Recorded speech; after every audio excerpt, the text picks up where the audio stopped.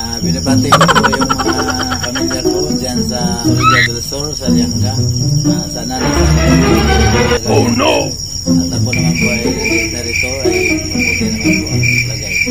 At saka sa mga kapatid ko dyan sa Langang at saka sa mga kapatid. Thank you. A few moments later.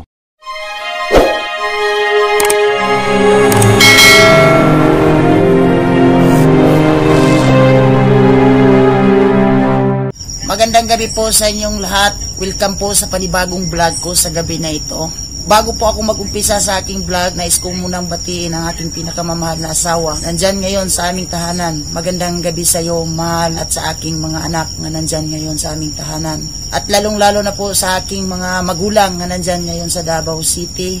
Magandang gabi sa inyo, ma, pa, at sa aking mga kapatid na nandyan ngayon sa kanya-kanya nilang tahanan. At sa lahat ng mga kamag-anak ko, kamag-anak ng aking mama at papa, magandang ah, gabi po sa inyong lahat. At sa lahat ng aking mga kasama sa trabaho, magandang gabi po sa inyong lahat. Ingat po kayo parati at sana nasa mabuting kalagayan po ang bawat isa sa atin ngayon.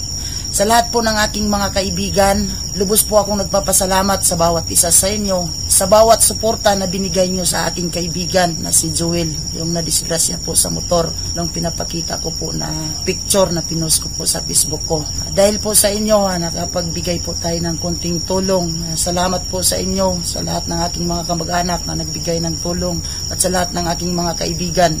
Ah, hindi ko na po kayo isa-isahin, alam na po ninyo kung sino kayo. Ate Rowena, thank you very much sa tulong na binigay mo sa aking kaibigan at sa lahat ng aking mga kaibigan na nandyan ngayon sa ibang bansa. Maraming salamat po sa kunting tulong na ibinigay nyo sa aking kaibigan na si Jewel. Ay, ganun pa man, hindi nyo po siya kilala, pero nagkusang loob po kayong nagbigay ng kunting tulong po para sa kanila sa maliit na bagay, eh, yun po ay napakalaking halaga po para sa kanila. Lalong-lalo na po ngayon ay hindi siya po nakapagtrabaho at nandyan pa sa ospital na nakikipaglaban para po gumaling. Maraming salamat po sa bawat isa sa inyong mga minamahal kong mga kaibigan. Si Joel po mga katiits, dalawang project ko po yan siya nakasama.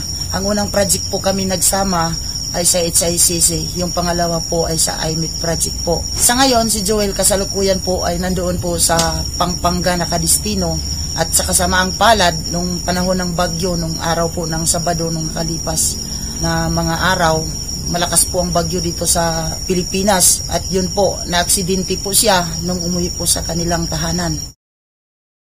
Ayun na hindi po natin inasahan, nangyari po ang hindi po dapat sana mangyari uh, na-aksidente po siya sa isang sasakyan at buti na lang kahit papano mabait po yung uh, nabangga niyang sasakyan at naghati po sila sa bill. Kalahati po noon ang sabi ng asawa niya ang may-ari ng sasakyan po ang nagbayad ang kalahati sa kanya. Tuloy pa rin na lumalaban si Joel, nandoon pa rin sa ospital, na problema na nga yung asawa niya kasi yung asawa niya nasa ibang bansa. Kaya lumapit yung asawa niya sa akin, nangingi ng kahit konting tulong. Ako naman, wala naman akong maibigay na laking halaga po para sa kanya kasi isa lang din akong manggagawa sa isang kumpanya. Nagtrabaho po ako sa isang construction at hindi naman po kalakihan ng sahod ko. Kahit pa paano, ha, nakapagbigay po tayo ng kunting tulong na pinansyal po para sa kanila. Uh, lubos po ako nagpapasalamat sa bawat isa sa inyo nung lumapit po ako sa bawat isa sa inyo. Ako makatok sa bawat pintuan nyo na pwede ba nyo akong matulungan sa nangyari sa aking kaibigan. At ganun pa man, uh, hindi kayo nag-alinlangan.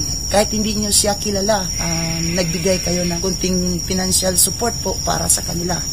At yun po, kanihang umaga, yung pera na nandoon sa GCash ng asawa ko, na ipa-transfer ko po sa GCash po ni Joel.